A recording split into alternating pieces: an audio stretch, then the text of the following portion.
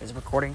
What is up, everyone? It is your boy Razorbacks Roy, and welcome back to an SEC prediction video. This will be the final prediction video video of this year, and our final team is going to be the Vanderbilt Commodores.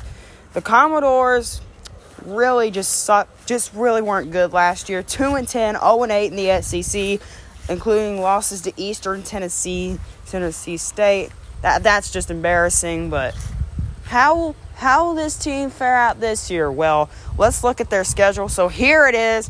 They will start out in week zero on the road at Hawaii. Hawaii, the Hawaii Rainbow Warriors. Warriors. Now going on the road at Hawaii, this this could be the key game for Vanderbilt this year. Going on the road to face off Hawaii. Hawaii. Hawaii Hawaii's got got a really good team and this is a game that Vanderbilt can lose. But Hawaii, Hawaii is on the road, and Hawaii will be will, will really good will, will really will really show up for that game. But but I think Vanderbilt will somehow win this game on the road.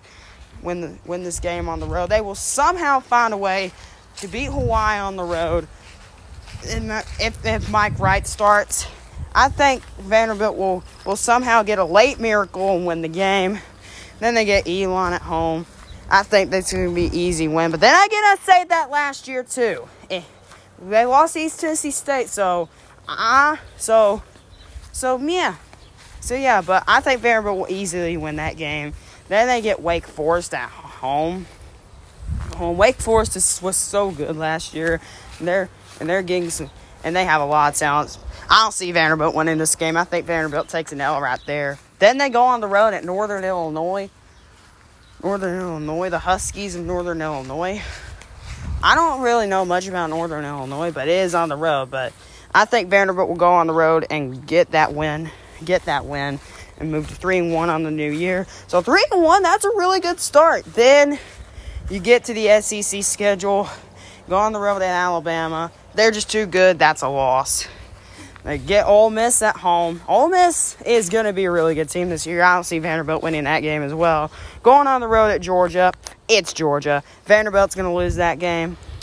And then they go on the road at Missouri. If Vanderbilt was going to, I'll tell you what, if Vanderbilt's going to win an SEC game this year, it's going to be Missouri. And I mean, not to brag on Brady Cook, I think Brady Cook's a really good quarterback, but if Vanderbilt were to win an SEC game this year, it, it'll be on the road at Missouri, Missouri. But I I think Missouri will some will will win this one. Then they get South Carolina at home, coming home to get and Spencer Rattler and Shane Beamer just coming into this game, coming into this game. I mean, I think this this will be a loss for Vanderbilt. They go on the road at Kentucky. Kentucky's a really good team. I don't see see I don't see them winning that game either. Florida at home. That's going to be a loss. And then they finally get Tennessee. Tennessee. Tennessee is going to be so good next year. Next year. Tennessee has a lot of talent, and I think Vanderbilt's going to lose this game. That means Vanderbilt will finish off the season 3 and 9, 0 and 8 in the SEC. So sorry if I sorry if that prediction was quick everybody. So but I just the real point of this team is they got to find their identity at quarterback. It's either going to be Mike Wright. They got to find their identity. I mean, Ken Seals returning at returning at quarterback is one positive thing, note, but reality, they got to find their identity at quarterback. Quarterback. It's either going to be Mike Wright or Ken Seals. Seals. The best case scenario, Vanderbilt's best case scenario is four and eight. They go on the road and beat Missouri and finish off the season four and eight and you know, and future star and look bright Fanbro. Worst case scenario is one and eleven. They lose on the road to Hawaii. They lose. They lose on the road to Northern Illinois. Illinois. Northern Illinois, and their only wins against Elon, Elon, Elon, Elon, Elon. But, but Clark Lea is going to have to find out this identity at their quarterback. It's either going to be Mike Wright or Ken Seals. But even if, but I see the best case scenario for Vanderbilt to get in 3 and 9 is starting Mike Wright. Mike Wright's a really good quarterback, but I think he can lead this Vanderbilt team to a three and nine season.